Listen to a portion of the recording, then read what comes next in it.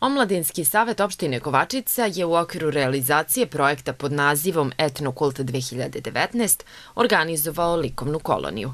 U okviru realizacije projekta, uporedo sa kolonijom, održane su i neke od planiranih radionica. Imali smo tri radionice, na radionicama je učestvovalo po 20 mladih, s tim da po završetku ove likovne kolonije radionice se nastavljaju do 15. augusta, gde će oko 200 mladih učestvovati e, još da vidimo tu, da prezentuju svoju multikulturalnost na delu. Jaroslav Toman ispred Omladinskog saveta navodi da je projektom bilo planirano učešće 12 slikara, a da je broj umetnika koji su došli ipak bio nešto veći. Očekivali smo samo 12 učesnika po projektu, ali smo završili sa 15 učesnika iz Kragujevca, Šapca, Nakučana, Beograda, Zrenjanina, Novog Sada i plus naša opština Kovačica.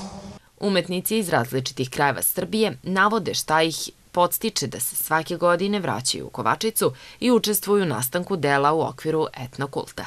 Uvek je dobra atmosfera, ovde inače mlađa ekipa na, na ovoj koloniji, inače na kolonijama budu onako stariji slikari, ovde je mlađa ekipa slikara i to mi isto ono, okej, okay, družimo se, ono, poznanstva, prijateljstva i ovaj, evo ja ne znam, već možda četvrta godina već. Kovačica je svima nama nešto onako intrigantno, drugačije, zbog te same naive. Svakako kada se ukaže prilika da i da naravno postoji mogućnost da budemo gosti u Kovačici i da vidimo to kako se razvijala i kako je nastajala i same te slike uživo, mislim da je jako velika čast i zadovoljstvo za sve nas. Ja.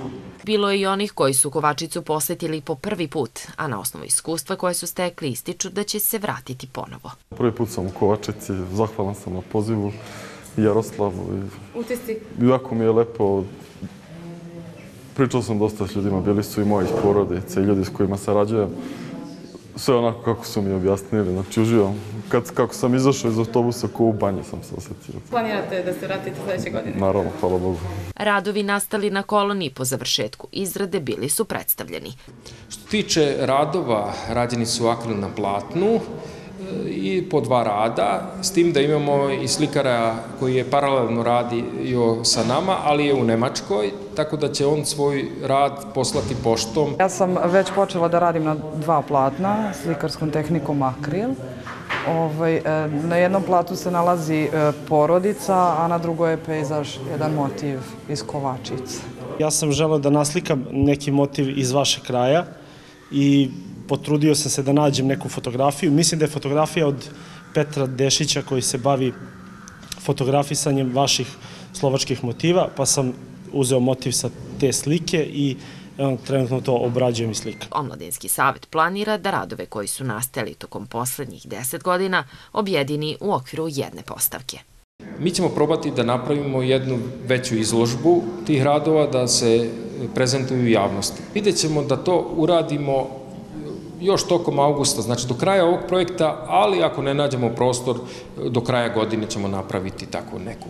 Ako ne nađemo prostor neki duži period, uradit ćemo jednodnevnu, pa ćemo pozvati ljude da to vide ili ćemo par dana, sve zavisi od prostora.